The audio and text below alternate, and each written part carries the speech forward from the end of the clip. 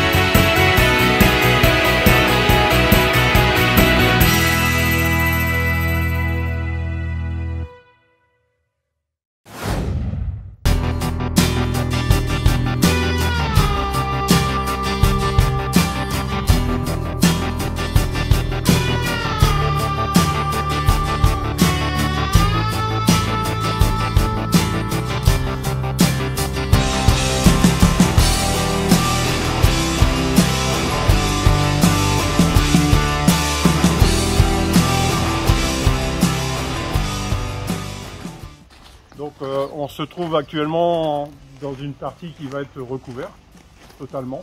hein. On va faire un chantier assez euh, démonstratif par le fait qu'on on aura une grue de 400 tonnes posée sur l'air sacré qui se trouve là-haut, euh, qui, va être, euh, qui va prendre en charge 80% d'élevage. Et euh, à l'arrière des murailles, on aura d'autres stations de grue qui vont prendre les charges, poser les poteaux à l'arrière des murailles et reprendre une partie des charges je dirais à 20%. Ils vont, le travail des grues à l'arrière des murailles, c'est 20%. Et la 400 tonnes, elle va prendre 80% de charge. Démarrer euh, là où vous voyez les barrières là-bas et couvrir tout l'arrière des murailles jusqu'à cette partie. Les essais de, de protection des ouvrages localisés, comme on peut le voir ici. Euh, mais aujourd'hui, euh, c'est plus suffisant pour préserver le site. Donc, euh, d'où le- le- cette couverture qui est assez monumentale qui va vraiment préserver tout ça.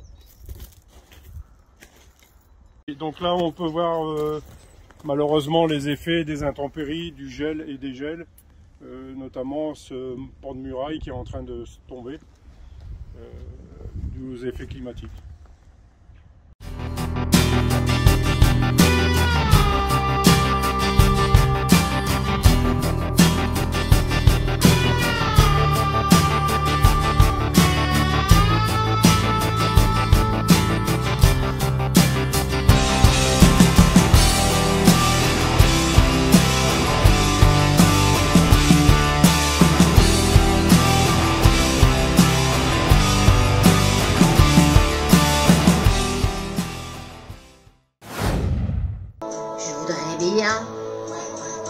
Mais je peux point.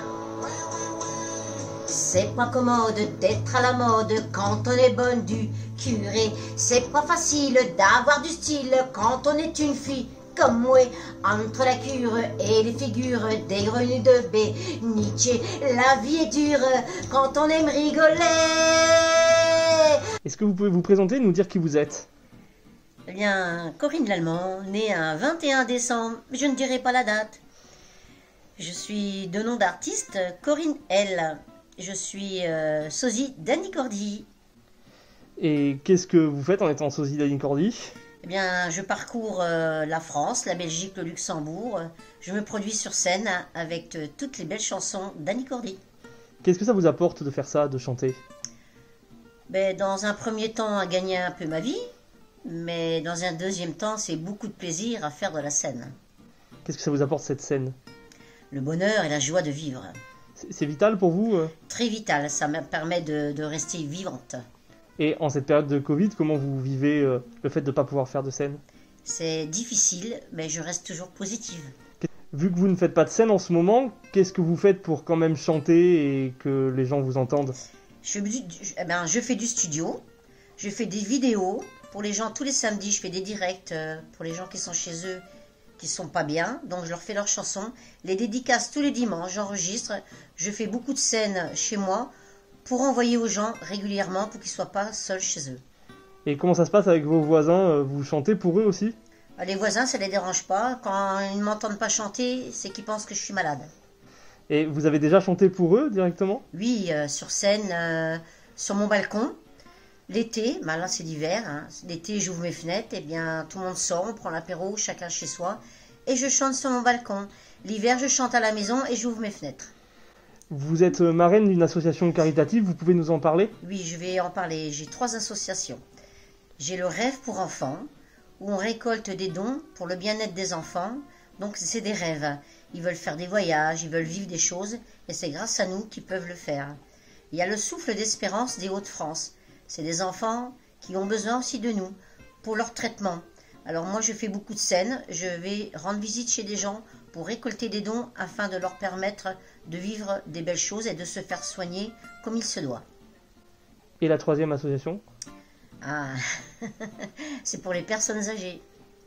Eh oui, je veux pas que les personnes âgées restent seules chez elles. Alors je fais aussi des récoltes pour qu'elles soient bien chez elles. Surtout des récoltes de chansons, des anciennes chansons. Euh, Tino Rossi, Edith Piaf. Donc je leur apporte chez eux le bonheur directement.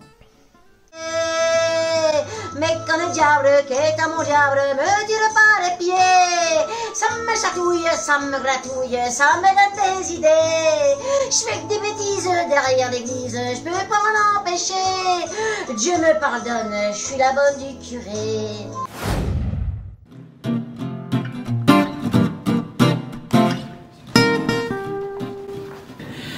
Alors euh, aujourd'hui, nous accueillons un restaurateur qui s'appelle euh, Hervé Le Riche, basé à Reims, et euh, il procède euh, à la protection de deux de nos mobiliers qui vont partir en restauration. Alors c'est un événement pour le musée puisque ces restaurations qui concernent deux meubles, une commode, trois tiroirs et un bonheur du jour, étaient vraiment des, objets, on va dire, en péril. Et c'est grâce à un mécène, grâce à la Société des Amis, que le musée va pouvoir bénéficier de cette restauration d'envergure, restauration fondamentale. Donc actuellement, le, musée des Beaux-Arts est, fermé euh, en raison du contexte sanitaire. Donc c'est l'occasion pour nous eh de nous remobiliser sur nos collections et on espère justement que lorsque nous pourrons euh, réaccueillir de nouveau notre public, eh bien que euh, nos visiteurs découvrent nos mobiliers euh, une fois restaurés.